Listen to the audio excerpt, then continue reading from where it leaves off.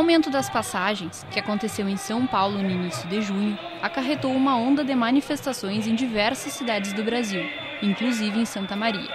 O DCE da UFSM, junto com os diretórios acadêmicos, convocaram estudantes interessados a participarem dos movimentos.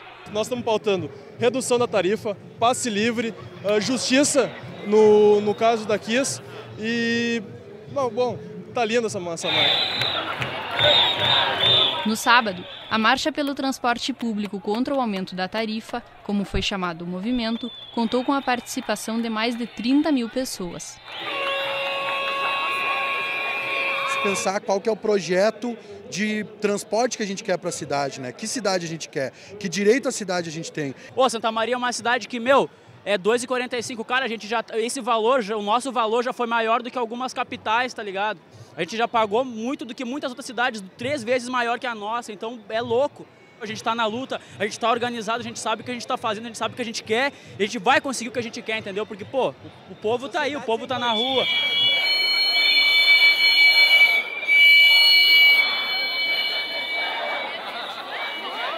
Os cartazes anunciavam os principais objetivos, como reivindicações da redução da tarifa do transporte coletivo, repúdio à corrupção, transporte de qualidade, gastos com a Copa do Mundo e descaso com a educação e saúde. O principal objetivo é lutar por uma contra o aumento da tarifa. Claro, não foi encaminhado em aumento, mas lutar contra os aumentos da tarifa, se possível baixar a tarifa, que é muito injusto, mas também tem outros objetivos que as pessoas estão começando a se manifestar pelos direitos LGBT, contra o Marco Feliciano, por exemplo, é, por um país mais justo, por investimento em educação, saúde, que estão precárias, e pelo direito à liberdade de expressão e organização, é, democratização da, da, da mídia também, os manifestantes também pediam justiça para as famílias das vítimas da Kiss.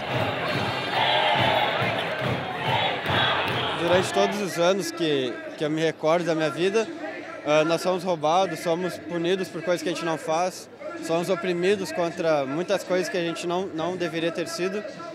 E, sei lá, chega uma hora que, até depois dessa, dessa tragédia que teve com a Kiss, a gente fica no, no limite, né? Aquele gatilho, uma hora vai ser puxado. Durante praticamente todo o tempo, não houve discussões, vandalismo ou confrontos, tornando o movimento pacífico. A Brigada Militar acompanhou o trajeto e garantiu a segurança dos manifestantes.